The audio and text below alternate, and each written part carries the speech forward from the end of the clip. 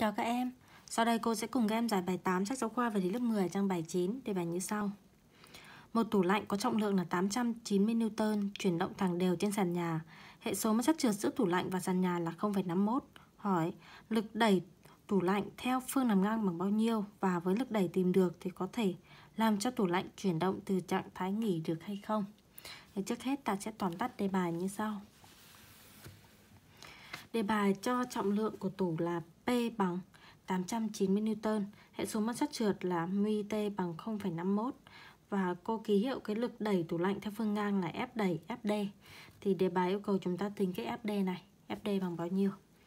Thì trước hết là phân tích các lực tác dụng lên tủ lạnh. Các em thấy rằng là chỉ có hai lực tác dụng lên tủ lạnh thôi, chính là lực đẩy FD và lực ma sát trượt F ma sát trượt đúng không nào? Vậy thì theo định luật 2 Newton ta có tổng tất cả các lực này sẽ bằng M nhân A.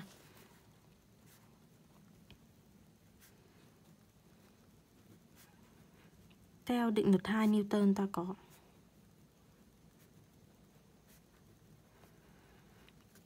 tổng các lực tác dụng vào vật F đẩy cộng F ma sát trượt bằng M nhân với A. Đúng nào? Tuy nhiên, chúng ta cần phải chú ý là đề bài còn cho chúng ta rằng tủ lạnh chuyển động thẳng đều trên sàn nhà. Các em biết chuyển động thẳng đều là chuyển động không có giá tốc hay là cách khác là giá tốc bằng không. Đúng không nào?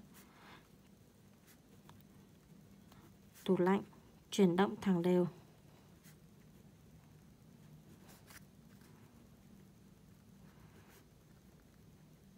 Thì ra giá tốc A bằng 0. Vậy các em thấy A bằng 0 vào đây ta sẽ được biểu thức là F đẩy cộng F ma sát trượt bằng vector 0.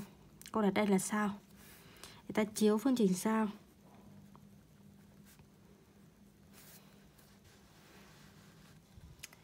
Chiếu sao theo chiều chuyển động.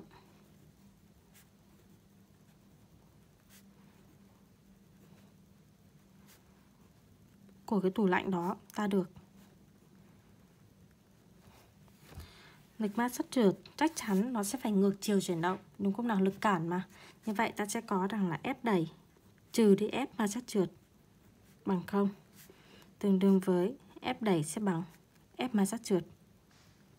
Đấy vậy suy ra F đẩy bằng ta biết rằng là lực ma sát trở lại tính theo công thức bằng nguy t nhân với n với n là áp lực và dễ dàng thấy rằng là áp lực thì sẽ cân bằng với trọng lực đúng không nào Vậy cô viết lại nó sẽ bằng nguy t nhân với p.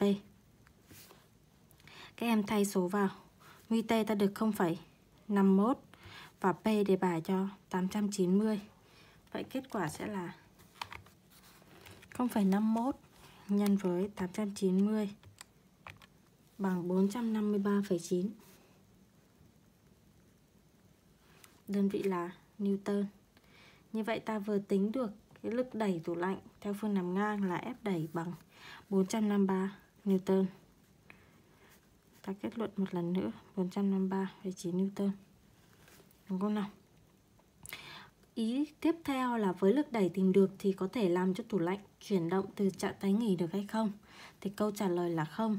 Ta không thể làm cho tủ lạnh chuyển động từ trạng thái nghỉ với cái lực đẩy như thế này. Tại vì hợp lực lúc này tác dụng lên tủ lạnh là bằng không ta có ép đẩy bằng, ép ma sát trượt mà hợp lực tác dụng bằng không thì vật đứng yên sẽ tiếp tục đứng yên đấy chính là nội dung của định luật 1 Newton đấy vậy ta sẽ trả lời là với giá trị này của lực đẩy. Với giá trị này của lực đẩy, ta không thể làm cho tủ lạnh, không thể em nhé, làm cho tủ lạnh.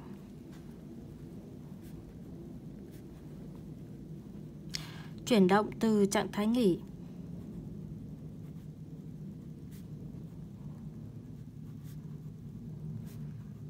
chuyển động từ trạng thái nghỉ. Lý do. Vì lúc này hợp lực.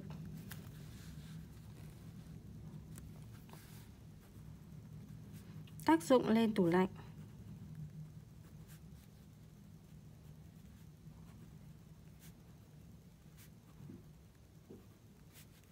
Là bằng 0.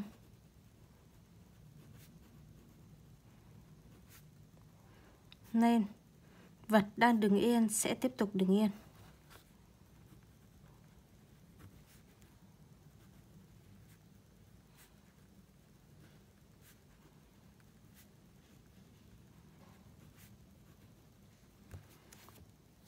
Chúng ta có thể bổ sung đây là theo định luật 1 Newton.